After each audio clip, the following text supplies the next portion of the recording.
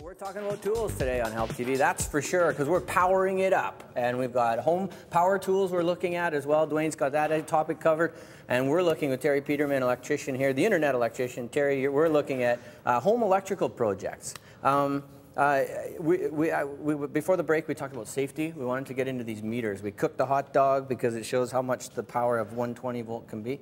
Uh, let's talk about voltage meters and testing so you know you're not touching a hot wire. Okay, well, if you don't want to go with the lamp or radio, yep. a simple two-wire tester is about the most uh, basic device. And that's Here, that's, that's where I come in. Let me grab, this is my toolkit. So I just grab in my little baby here because uh, I tried the complex one that Terry is going to show in just a sec, and I couldn't understand how it worked. so I actually just went out and bought this little baby. And, and they work. It works great. And so uh, I'm going to just show you real fast. I'm going to back up here. Just So let's back up.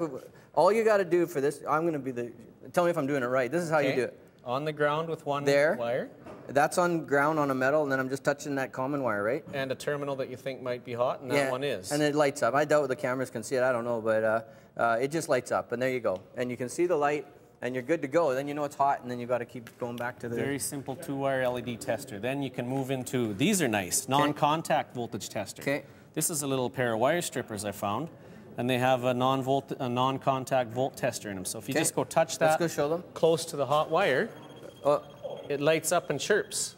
It's just because it's close. Just being close to the inductance of that hot wire.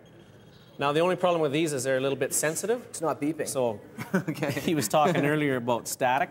Yeah. You can rub that in your hair and get it to light up. So wow. you also want to make really sure that the power is off and you're not getting Oh, yeah, it's terrible.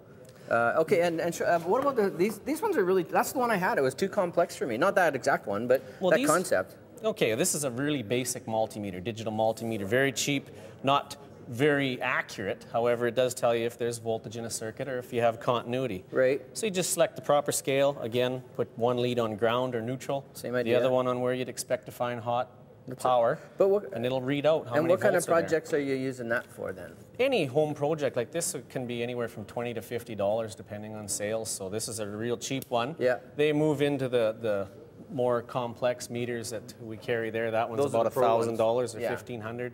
That'll record voltages you can read out on the computer and now for, for analyzing our, uh, power problems. Guys like us, the regular me, the regular home home repair guy. This is fine. That's not This is fine. Okay.